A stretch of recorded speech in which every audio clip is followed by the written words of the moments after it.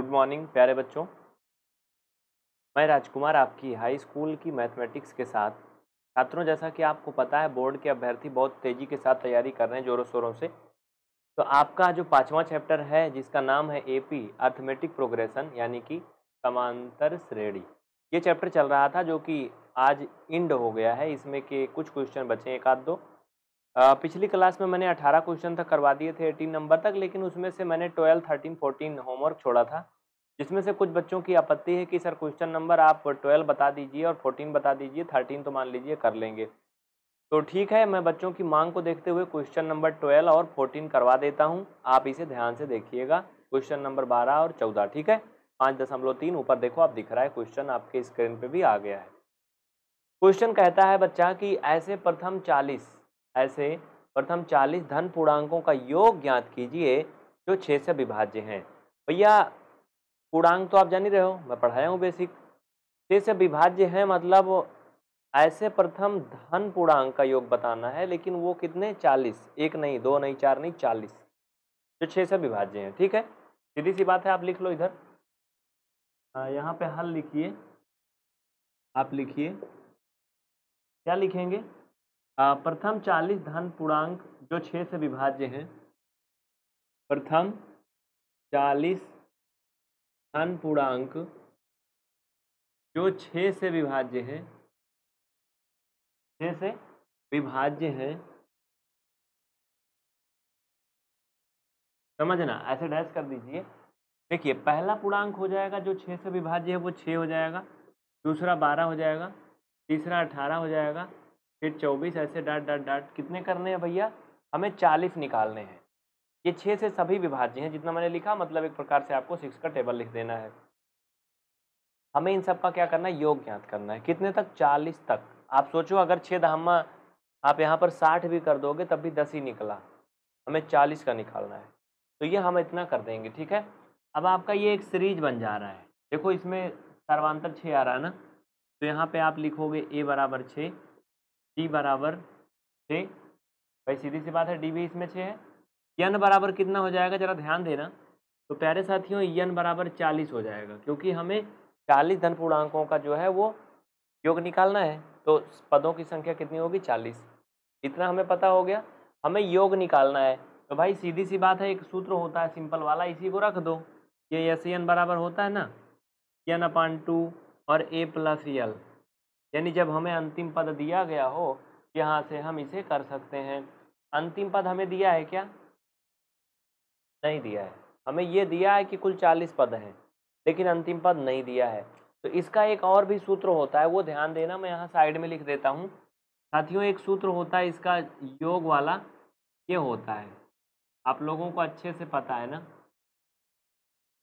ये पता है ना बच्चा? ये फार्मूला मैं कई बार पढ़ाया हूँ, आप लोगों को अच्छे से मालूम है। तो ये फार्मूला हम अप्लाई कर सकते हैं बिकॉज़ हमें ए का मान पता है एन का मान पता है डी का मान पता है, हमारा एस एन आ जाएगा। है ना? चलिए, इस फार्मूले में हम रख देते हैं। ये क्वेश्चन मैं स्क्रीन से हटा देता हूँ, इसमें किसी को कोई आपत्ति नहीं होना चाहिए। आप स्क्रीन शॉट ले लीजिए। तो ये फार्मूला नहीं लगेगा इसमें, क्योंकि ये इसके अकॉर्डिंग सुटेबल नहीं है। ठीक है? उसी में मान रख दीजिए, कोई दिक्कत नहीं है। और जहाँ लिखा है, वहीं रख दीजिए। यन का मान चालीस दिया है तो ये चालीस हो जाएगा। यहाँ पर भी ये चालीस बटा दो। ध्यान देना, टू इंटू ए। ए का मान छः, यन का मान चालीस माइनस वन इंटू छः। इतने में किसी को कोई दिक्कत नहीं है। ठीक है? ये बीस हो गया। समझना, ये बारह हो गया। और ये प्लस, इसमें से घटाओगे उनतालीस आएगा। उनतालीस में आप गुड़ा कर दो भैया। किसका? उनतालीस में छः का गुड़ा कर दो तो छः नवाई चौवन हासिल पाँच और छः तरीक अट्ठारह पाँच। अठारह दो बीस तीन तेईस। दो सौ चौंतीस। देखो, सही है ना? कोई दिक्कत नहीं। ठीक है। दो सौ चौंतीस में आप इसे जोड़ोगे तो भैया दो सौ चौंतीस, दस चौवालीस, दो छियालीस, दो सौ छियालीस। आप बीस का गुड़ा कर लीजिए तो आपका यस फोर्टी आ गया, चालीस पदों का जो योगफल है, वो आपका आ गया गुड़ा कर लीजिए। ज़ीरो आप उतार लीजिए, दो छंग बारह हासिल एक, दो चौक आठ एक नौ, दो एक कम दो। यानी उनतीस सौ बीस आपका क्या आ गया? चालीस पदों का योगफल आ गया। लेकिन गलत लग रहा है मुझे ये। ये गलत लग रहा है। कैसे? एक बार फिर से देखिए। ज़ीरो तो उतार लिया, ठीक है। दो का गुड़ा करा, दो छंग बारह, दो हासिल एक दो चौका आठ एक, नौ और दो दुना ये चार होगा, सॉरी। हाँ ये कितना होगा? फोर। तभी तो मैंने सोचा कि चालीस पदों का योग इतना कम कैसे आ देख लीजिए स्क्रीन शॉट ले लीजिए, कोई डाउट है तो बताइए। जल्दी करिए। मैं सामने से हट जाता हूँ, आप स्क्रीन शॉट ले लो फटाफट, चलो। ठीक है, क्लियर? स्क्रीन शॉट ले लो फटाफट, चलो। हो गया? सोल्यूशन तो दिख रहा है आपको स्क्रीन पे, इधर साइड मैंने कुछ तो लिखा थोड़ी ज़्यादा। ये देख लो, इधर तो मैंने श्रेणी लिखा था बस। आगे चलें, इसको मिटाएँ। अगला क्वेश्चन देखिए, नेक्स्ट क्वेश्चन भाई दिखाओ स्क्रीन पे। नेक्स्ट क्वेश्चन आपके सामने आ रहा है। ध्यान दीजिए, मैंने टाइम दिया आपको बहुत लिखने के लिए। थर्टीन नंबर देखिए। तेरह नंबर क्या कह रहा है? आप पढ़ो ध्यान से, नीचे स्क्रीन पे क्वेश्चन दिख रहा है। अब मुझे ये बताओ, ये बिल्कुल इसी तरह से है कि नहीं? सेम टू सेम है ना, इसमें कोई अंतर नहीं है ना? भैया, जहाँ इसमें चालीस निकालना था, बाबू, वहीं इसमें कह रहा कि आठ के प्रथम पंद्रह। भाई, इसमें प्रथम चालीस कह रहा था, उसमें प्रथम पंद्रह का कह रहा है। तो आप श्रेणी बना लो। आठ, सोलह, चौबीस, बत्तीस, ऐसे क्या बन जाएगा? एक सीरीज़ बन जाएगा। और फटाफट उसमें सारे मान ला ला के पटक दो। हो गया। तो ये तो मुझे नहीं लगता बताने लायक है। जैसे इसमें सीरीज़ बना था, वैसे इसमें बन जाएगा। आप लोग कर लोगे ना। बोलो भैया, कर लोगे ना। चलो अगला। Next question fourteen number screen पे देखिए। नीचे दिख रहा है। क्वेश्चन पढ़िए। कह रहा कि ज़ीरो और पचास के बीच की विषम संख्याओं का योग ज्ञात कीजिए। ज़ीरो और पचास के बीच की विषम संख्याओं का योगफल ज्ञात कीजिए। ठीक है? शून्य से लेकर पचास तक की कितनी विषम संख्याएँ होंगी, इन सब का हिसाब पहले मुझे बताओ। चलो। ज़ीरो से पचास के बीच की। तो यहाँ पर हल में आप लिखो सबसे पहले। ज़ीरो और पचास के बीच की विषम संख्याएँ, के बीच की विषम संख्याएँ, लिखो ज़ीरो के बाद एक आता जो कि विषम है, तीन विषम है पाँच, सात, डाट डाट डाट डाट। आप ये देखो कि हमें पचास के पहले ही लेना है तो उनचास होगा। भाई सीधी सी बात है, ज़ीरो और पचास के बीच का निकालना है तो ज़ीरो के बाद वन आता है, पचास के पहले उनचास आता है, उनचास भी विषम है, वन भी विषम है तो ये आपका सीरीज़ बन गई। इसमें कोई दिक्कत नहीं। अब देखना बच्चा, समझना। यहाँ से हम क्या क्या निकालेंगे बाबू, थोड़ा समझना। यहाँ से हम ए का मान निकालेंगे, वन आ गया। अब डी का मान निकाल के देखो। सब में से घटाओगे, दो आएगा।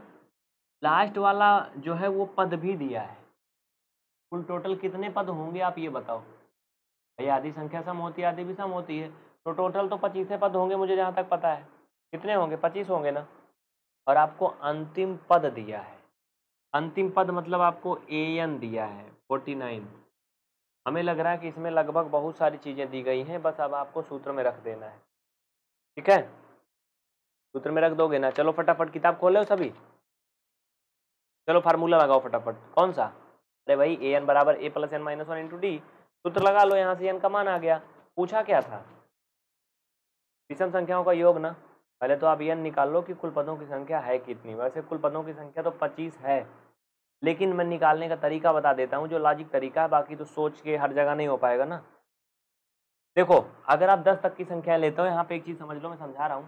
देखो बेटा, अगर दस तक लेते हो, एक, दो, तीन, चार, पाँच छः, सात, आठ, नौ, दस। यहाँ एक चीज़ समझना। दस तक में जो विषम संख्या कितनी होती पता तुम्हें? एक, दो, तीन, चार, पाँच। पाँच संख्या विषम है, पाँच सम है। तो उसी तरह से जो पचास तक का अगर लेंगे तो उसमें पच्चीस संख्या सम होगी, पच्चीस विषम होगी। तो यहाँ पर जो यन का मान है बेटा, वो पच्चीस आएगा। लेकिन ये छोटा क्वेश्चन है, हम लोग का दिमाग काम कर रहा है तो हम यन का मान तो निकाल ले रहे हैं। लेकिन अगर यही क्वेश्चन बड़ा आ गया लाखों में, हज़ारों में तो नहीं कर पाओगे। हाँ? तो इस तरह से मैं आपको दोनों तरीका बता दूँगा, ठीक है? यहाँ से मैं आपको यन निकालने का तरीका बता रहा हूँ। सूत्र लिख लीजिए यन निकालने का तरीका। ए एन बराबर A plus N minus one into D जो कि सूत्र के माध्यम से होगा, बाकी डायरेक्टली तो मैं आपको निकाल के दिखा सकता हूँ, कोई बात नहीं। चलो। ए एन का मान फोर्टी नाइन दिया है ए का मान वन दिया है एन का मान हमें निकालना है इंटू डी डी का मान दो दिया है। तो फोर्टी नाइन ये वन इधर आ जाएगा, ठीक है? Equal N minus one. आप इनका मल्टीपल कर लो भैया। दो का तो ये दो एन माइनस दो। ये अड़तालीस हो गया। और दो इधर आएगा तो प्लस में हो जाएगा। Equal to N. तो ये पचास हो जाएगा। और नीचे नहीं दिख रहा, मैं क्वेश्चन हटा देता हूँ। आप घबराया ना करो बिल्कुल भी। बिल्कुल घबराया ना करो। ये दो इधर आएगा, भाग में हो जाएगा इक्वल एन। आपको पता ये कट जाएगा बेटा, पच्चीस आएगा। यानी हम यहाँ पे लिख सकते हैं चुपके से एन बराबर पच्चीस। एन का मान कितना आ गया? ट्वेंटी फाइव किसी को कोई डाउट नहीं होना चाहिए। आल इज़ बेल ना? चलिए। ये एन का मान हो गया। अब मैं इसे मिटा दूँ अगर आप लोग कहो तो।